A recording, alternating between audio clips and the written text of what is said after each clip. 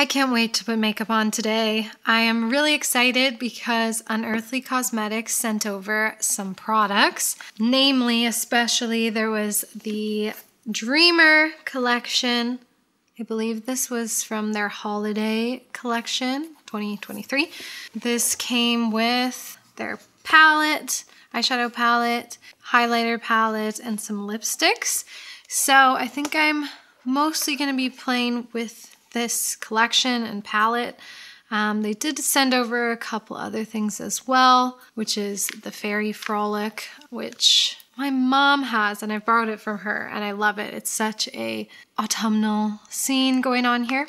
And then their Strawberry Milkshake palette. So these are definitely on the agenda to potentially play with another time or I don't know, maybe I'll change direction throughout my makeup today. But here's the Dreamer palette.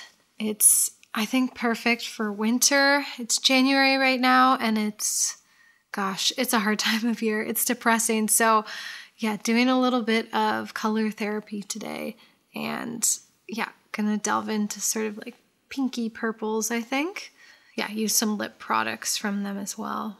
Unearthly is a really cool brand, definitely a little bit witchy, so they have that going for them cruelty free, vegan, all great things. So it's also an indie brand, so great thing to support.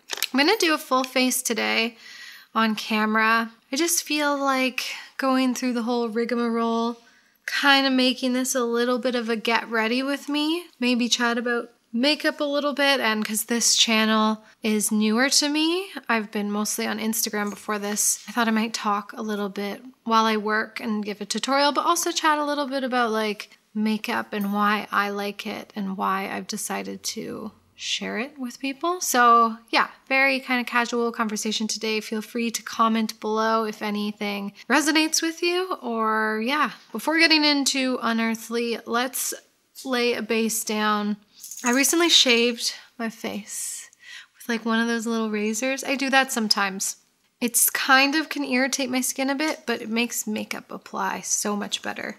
So it's worth it for me. I'm gonna color correct first with Charlotte Tilbury. I always do this. Even on no makeup days, it's just really necessary for me. Mostly just like all around the eye area. It really just like gets so discolored. So this is a get ready for me, but I'm getting ready for staying inside after and doing work. Yay. So this is a nice treat just to take some time out of the day and prioritize myself and makeup. I'm using the NARS soft matte on my eyes today. I really want to have a nice prepped bright base. So I'm just going right in for that right now.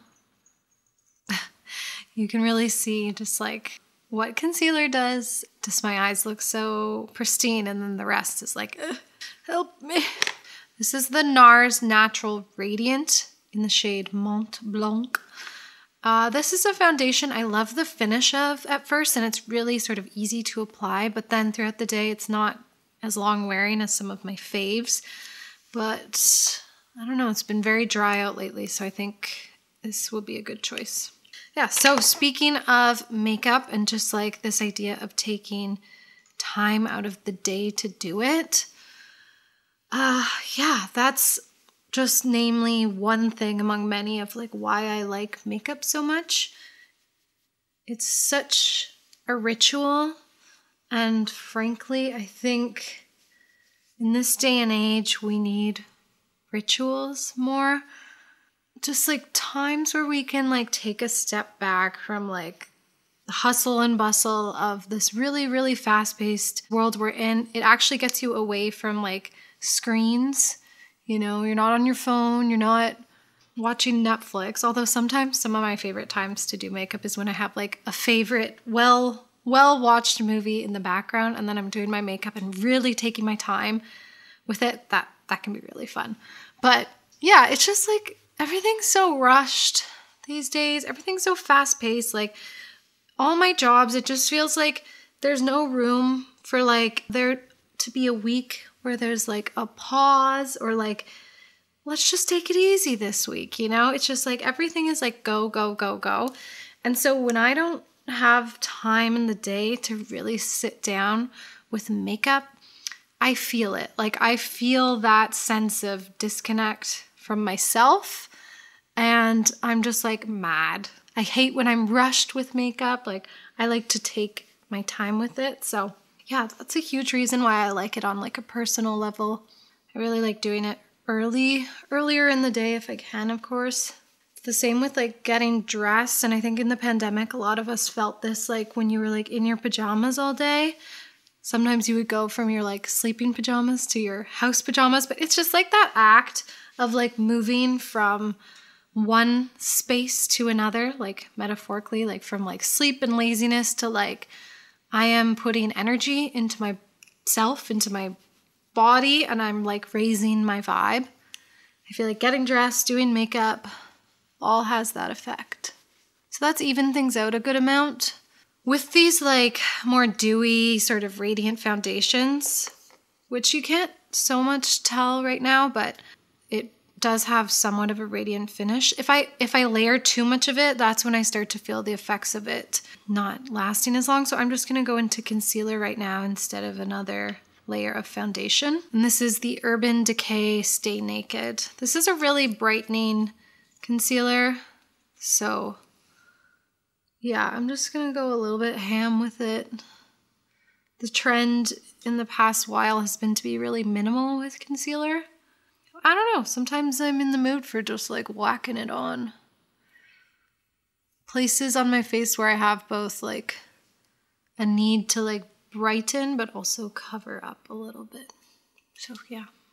On all my channels like TikTok, Instagram, YouTube, I have the saying makeup is magic. Probably a lot of you have already figured out like I I like to lean into a lot of witchy things, witchy vibes, witchy looks, you know what I mean? Because, uh, well, for one, because makeup is magical for me. It is witchy. Not just for me, for everyone. It's literally like transformation. It's literally like using tools and potions to transform on a physical level, but also on a spiritual, emotional, mental level. Okay, time for some contour bronzing action. Going to contour a bit with the Anastasia Beverly Hills contour stick in Fawn, and then I have the Rare Beauty cream bronzer in Bright Side. This one, the Rare Beauty packs a punch. I have to be a bit mindful. My new technique for like contouring my chin has been a very, very thin line. Eek kind of continuing where my jaw doesn't jaw. then a, a, little bit here. Oop. Oop. Sometimes I'm like, does this do anything? Is this helping me? And then a dense brush to like blend it.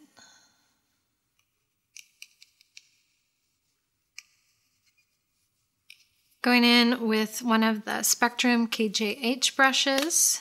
It's a little bit fluffy right into the bronzer stick. A lot of people do like to go right onto the face, but then I find there's just so much more blending involved, so I go right in to the stick from with the brush. Start to shape the perimeters. So makeup, while transformative and fun and colorful, like I think it gets such a bad rep for some reason because of like beauty standards and making women in particular feel like they have to subscribe to certain notions of beauty. And while, yes, I do feel more beautiful with makeup, like I also feel more beautiful when I'm wearing a nice outfit, when my hair, when I have a good hair day, I don't know, like it can really just like elevate you, your mood, as long as you like it. I don't see the trouble with it. A lot of people, women, a lot of women don't wear makeup and it's totally fine. Like it's not societally taboo. If anything, like wearing a lot of makeup is like sometimes more frowned upon. For brows, I've been going back to this Benefit pencil. It's like, um, okay, it's the Give Me Brow Volumizing Pencil. So it has a bit of a powdery finish to it. This one actually matches my brow shade, unlike when I have, um, try and tint them with eyeshadow, kind of auburny. So I can be a bit messier with this. For blush, I'm going to go into the Rituel de Fille Inner Glow Cream Pigment in Lovesick. I think this will go well, hopefully, with the lip from Unearthly I'm planning. And it's a fairly neutral shade, so.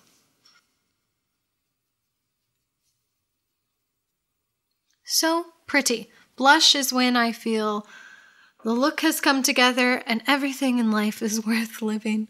I know that's dramatic. I just love like that color, that flush of color. It's so romantic. And yeah, back to makeup and its meaning. Like, makeup is so beautiful to me. And like, I don't, I think beauty in general gets a bad rep as well as makeup because of beauty standards, which, yes, can be highly problematic. But beauty in and of itself is, well, for one thing, entirely subjective. I'm going to do this makeup look, and somebody's going to be like, that is ugly. I do not like that. But I like it. I think it's beautiful. It brings me joy and it elevates me. And this world needs more beauty. And makeup for me, for me, is a part of that. Everything is so ugly these days. Like, by everything, I mean like products and buildings and in particular where I live, I rant about this all the time, but in Toronto, we have this really modge podge, hodgepodge architecture around with like everything was made with like a utilitarian purpose in mind rather than like any sort of ounce of like aesthetic. And honestly, especially in winter when there's no plant life around you, you feel it. It it reflects onto you. It does on me anyway. Like beauty is an important aspect of being alive to me. I think of things like a meadow and nature and you know, sunsets as cheesy as that is, as cheesy as that is, those things like bring me a sense of of purpose in life. I think sharing beauty is like a bit underrated in a way because beauty standards take over what beauty is and I hope that made sense. I hope that's resonating with anybody. But I'm just here to like be a creative person and try and resist capitalism a little bit in finding ritual, finding empowerment, doing things that I love. I mean, already that's kind of resisting capitalism, right? I'm just powdering around here. I think this has mascara on it, but uh, that's okay. There's almost like a little bit of guilt when I speak to people like about this idea of like actually pursuing what I'm doing right now as a career because it feels like people think it's trivial. And I imagine anybody watching right now doesn't feel that way. Yeah, makeup makeup is sometimes more than just makeup, you know? Okay, now to go in to something from Unearthly. I'm going to use the highlighter palette, the Dreamer highlighter palette, and I'm thinking of leaning into the pinky shade. Hopefully it's not too dark on my complexion, but I think it'll be okay. Just going in with the brush, sometimes tapping it off a bit. Yeah, not too dark. That's really pretty. It's like, it's subtle in a nice way. Like though it has like little sparkles in it, it's so finely milled rather than like big chunks. Like I was complaining about the Vive highlighter in my last video, which has a couple of big chunks flying around. I want to do lips first so that I can, because most of the lips I got were on the darker side so that I can make sure I'm like balancing the look well. I'm going to start with the liner from Unearthly. This is the shade Bad Blood.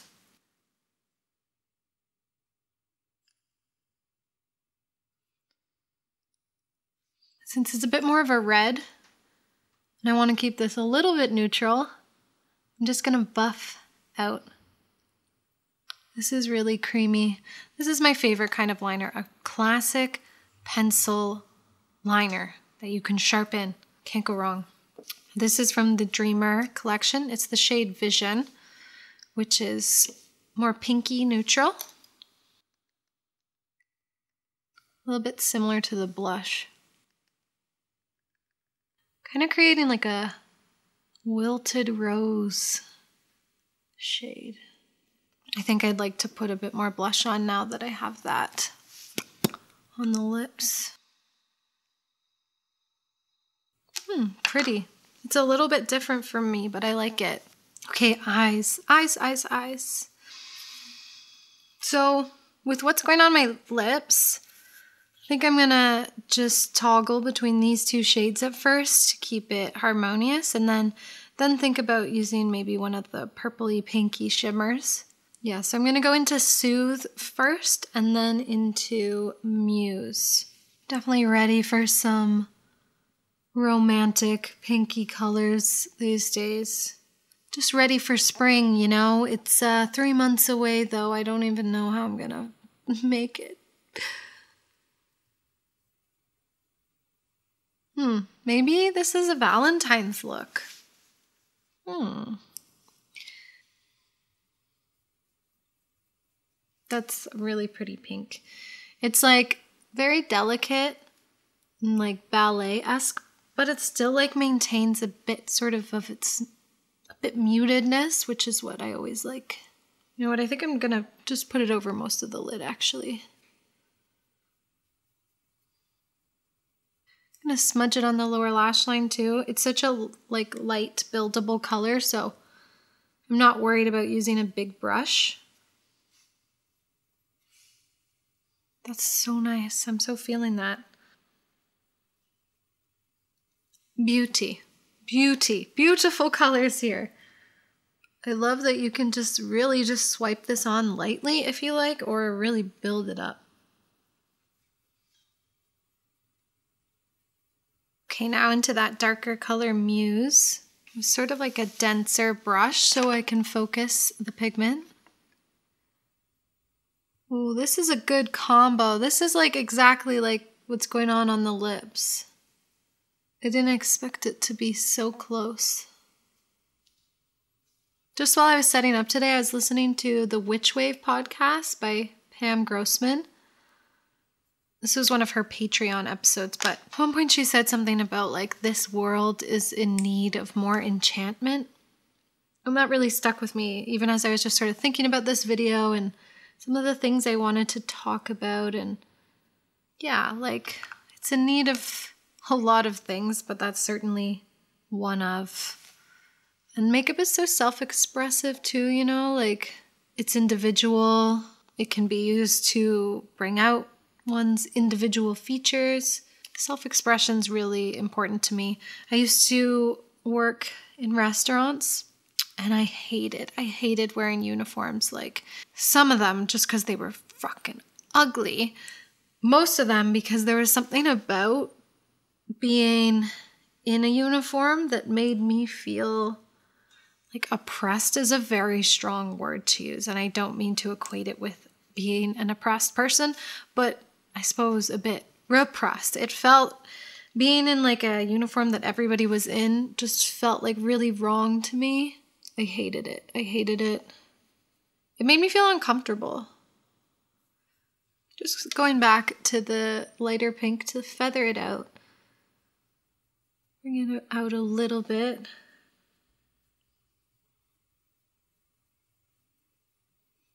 Putting this on the lower lash line as well.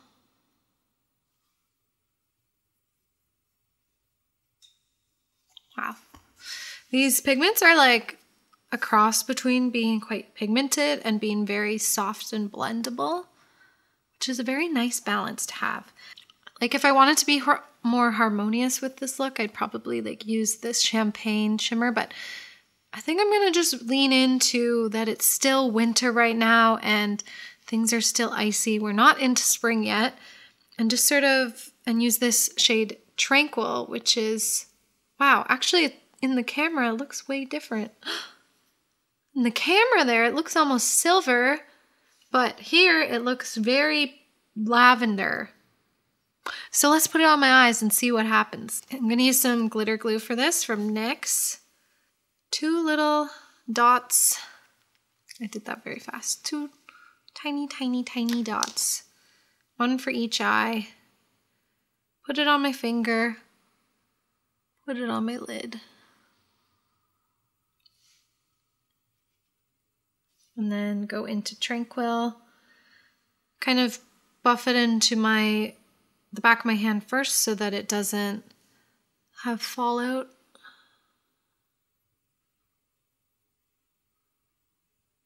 That's pretty.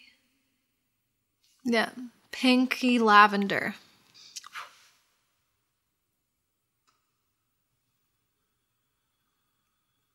It's a cross between like a very romantic look with like a touch of, I don't know, like supernatural alien, something a bit unearthly, spacey.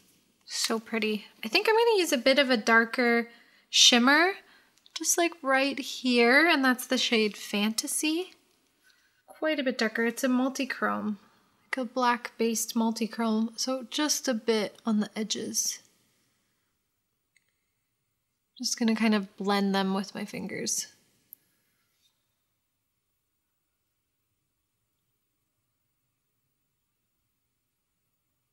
This Dream State shade is like really cool. It's like a silver. I'm not to use it in the look today, but I want to show you. It's like a silver, but it has like rainbow, like literal rainbow in it. Can you see that? It's like a really, really unique shade. You might have to see it in person. It's like unreal. I'm gonna have to wash my hands before I do mascara. I think I'm gonna put a little bit of the purple shimmer, the Tranquil, on the lower lash line. So using glitter glue and a little bit, and just like my pinky.